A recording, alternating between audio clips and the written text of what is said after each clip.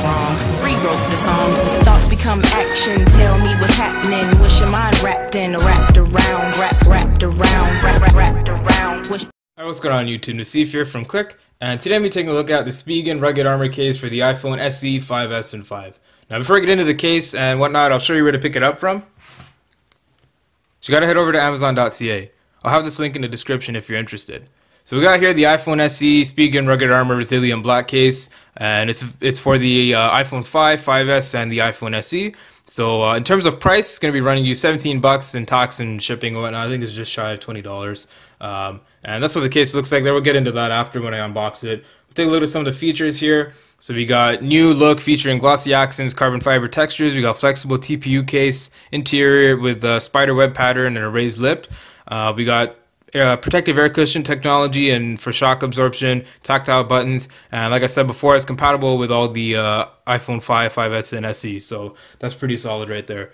So put the tablet aside now, and we'll get into the box. Um, so before I open it up, we'll see uh, on the front here, just says Spigen, gives you the name of the case, nothing special. On the side here, you got some company slogan here, something you want, company branding.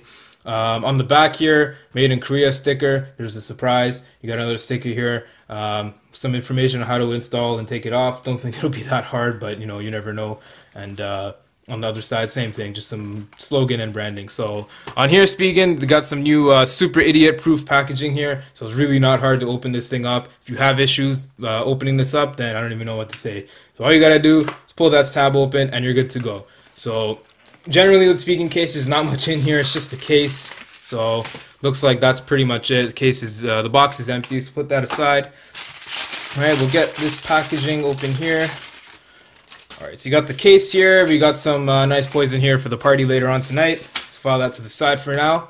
All right, so here's the case. Um, got minimal company branding here, just a Spigen on the side. You got your carbon fiber um, accents here and a nice, it's like a matte, soft rubber finish to uh, to the plastic. And here's that spider web. Uh, I don't know if you can, you see in the light here that spider web texture for uh, for impact and protection. So we'll slide this thing on here and it goes on really easy uh, because it's a flexible TPU type case um, and has no issues with the wrap and well usually sometimes with cases they become very snug when there's a wrap on here but this one fits nice and uh, nice and good here. There's no issues with taking it on. Putting it on sorry and uh, taking it off looks just just to be just as easy so it's not a big deal here.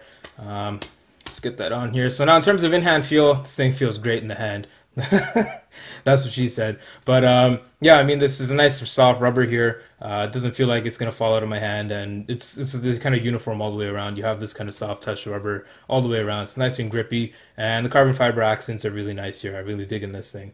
Um, so we'll run through the case here. So on the bottom here, you got cutouts for your speaker, lightning port, uh, microphone, and headphone jack.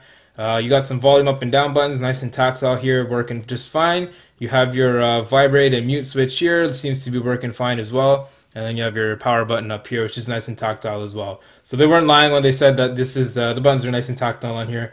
And you got the also, I don't know if the camera will pick it up. It's a very slight little lip that runs all the way around the top here. So when your phone's on the top here, you can, you know, slide around the table. Uh, not that you would probably do that, but, you know, if you're the type to do that, then go for it because it's uh, protected and the screen's not going to get scratched up. Um, but yeah, I mean, that's pretty much it. Just wanted to show you guys what this kind of looked like on the iPhone. And I was curious to see if the wrap would impact how the, uh, the case fits, but it doesn't seem to do that. So yeah, um, if you like the video, feel free to drop a like on the video and uh, you know sub to the channel if you like the content. Definitely helps us out.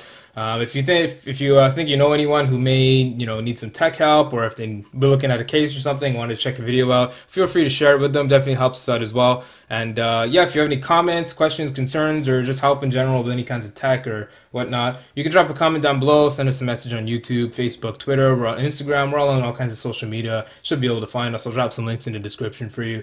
Um, but yeah, so that's all. Just wanted to show you what this case looks like, and that's pretty much it. So thanks for watching, everyone. This has been Naseef from Click, and I'll talk to you guys in the next one.